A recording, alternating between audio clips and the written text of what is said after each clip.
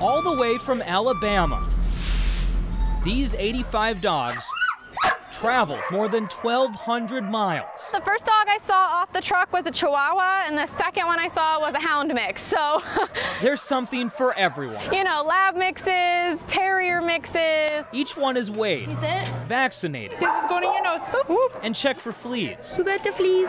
All of it is recorded here so the vets know where to start. These animals were not, ho- they did not have homes yet. Most had been in the shelters for weeks before Hurricane Michael hit. 52 pounds. So they decided to send them up here to make room for the new batch of strays who got lost during the storm. We don't want to bring anybody's pet up to Minnesota. We want them to all end up back where they belong. But here at the shelter, they've got their own problems. We can't always pick the timing of these things. Site manager Ann Lally Rose says they're already at capacity with more than 120 dogs on the adoption floor and 300 others waiting in the ranks. Why is the shelter so full right now? Change happens, people go back to school, back to work, um, transition times, and so it might not be just quite top of mind right now. Good news is MEA break is usually when things pick up again. So this weekend will be especially important, finding homes for their dogs so the new ones can settle in. Who don't see borders, you know, like they don't know they're from Alabama. They just know they want to be on your couch. Now that all these dogs have been checked in, workers are going to get them ready for adoption. I'm told many of them will be on the adoption floor up here starting this Friday, with others